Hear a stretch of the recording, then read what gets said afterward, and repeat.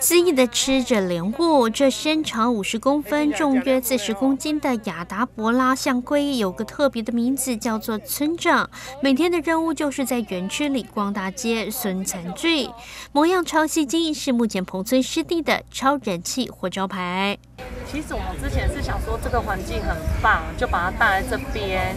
也等于是有点野放，让它比较不要像说一般我们养宠物把它关起来。那客人有客人看到说，哎呀，这只好特别哦，一路叫孙的哦，那就说，哎，你们刚我们所谓我们，哎，依依我们的方式来讲，像说，啊，你们刚刚村长、领长一样，弄一家的笋，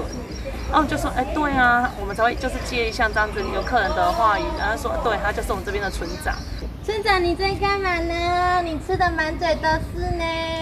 村长是经人工繁殖取得证书的保育类陆龟，业者在家养了二十多年，没想到因进驻后带来彭村湿地放养，竟意外爆红，大小朋友都爱找他，甚至特别来找他拍照打卡，游客回流率也因他高的惊人。啊，很多粉丝啊，很多小朋友也特地会专程跑来找他。你不要说小朋友，连大人都是，有的要拍完美照什么，一天哎来一进来就，小姐你们村长在哪里？哦，这是我们的村长，